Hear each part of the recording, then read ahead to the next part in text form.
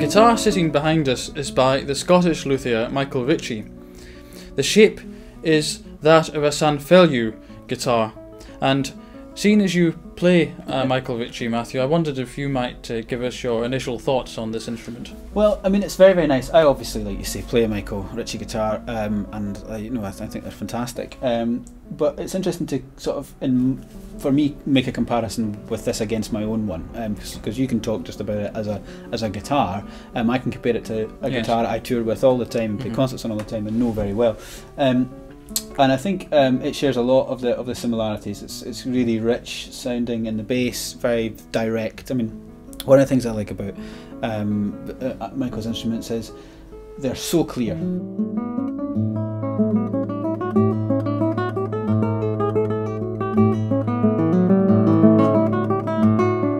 Muddied or overly dark or overly sweet. They're very clear and very direct. Um, I think this one's quite loud, quite punchy. Um, it has a lot of beauty in the bass. Um, the the treble is, is kind of bright and very alive. Yes. It, it's not overly sweet. Um, you have to work a little bit to get that sweetness to come out. Um, but when you do, it's got a really you know very good sweet yeah. spot to it.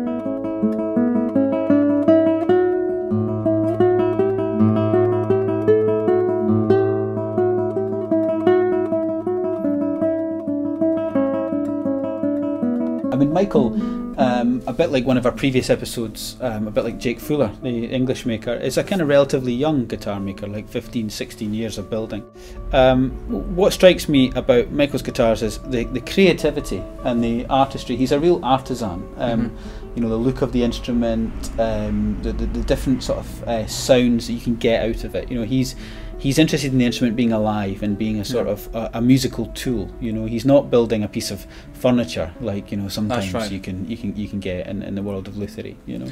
Yeah, and and I think for that reason we can really call it truly a Spanish guitar. for sure. It's yeah. it's not something you, you, you find uh, all that much actually. No. And a sense of a guitar that, that is a living, breathing instrument. Yeah, yeah. And one uh, that you would collaborate with when playing a yeah. piece almost. Yeah. It, it, it suggests things to you. Yeah. And uh, I, I think that's a rather wonderful uh, uh, aspect of, of guitar playing. It's something quite unique to the guitar actually, and yeah. not something that we should we should necessarily uh, uh, frown upon.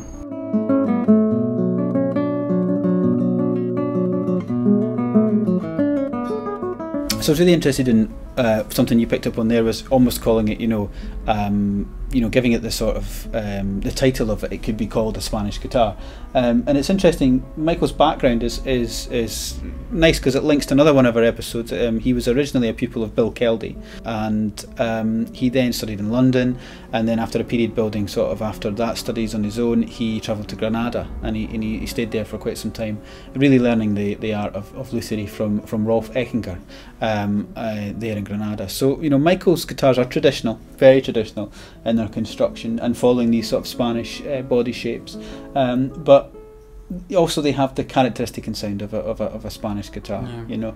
And you know, you were asking me, you know, about my experience with the, the Michael Ritchie I own.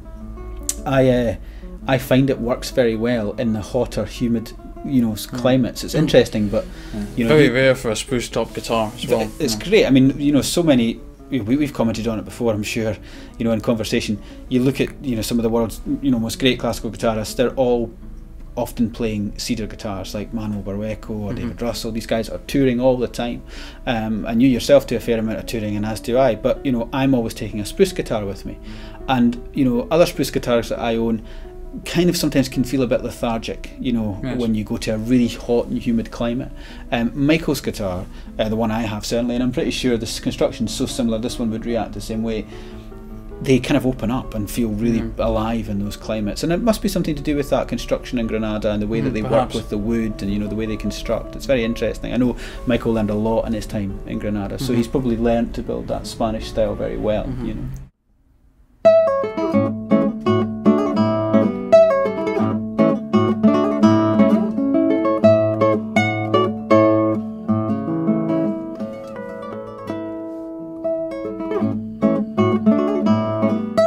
Found it quite interesting that we both chose contrasting pieces to play on, on this guitar. uh, you chose uh, the prelude from Bach's first cello suite, and I chose the uh, Alborada by Tárrega, the piece Oh. with the harmonics.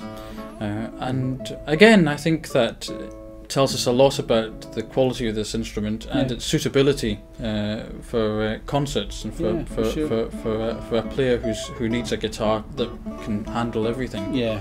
Certainly for me, I found the harmonics on this guitar uh, very full and very sweet.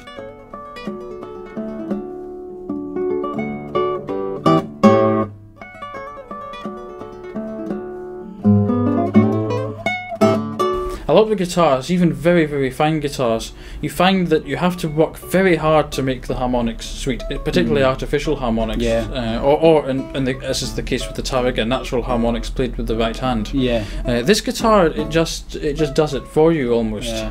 Uh, it's it's really it's really lovely to, to, to, to experience that.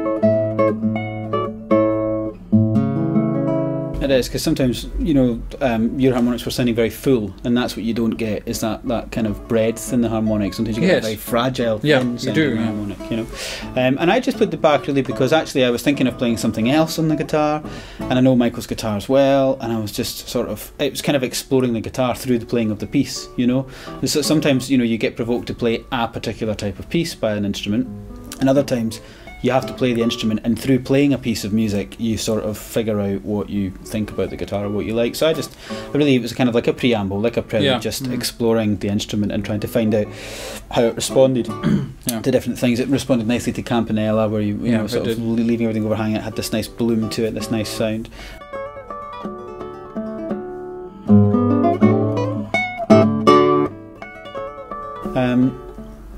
I mean, I, I was kind of very impressed with the guitar, and again, for me, it's just another um, strong example of, of, of his craftsmanship, um, for sure. And I think you know, Michael, in the next sort of 10, 15 years, I think will go on to become one of the one of the best known luthiers in Europe. Really, Yes. he's really um, making a great name for himself, and uh, it's an excellent instrument.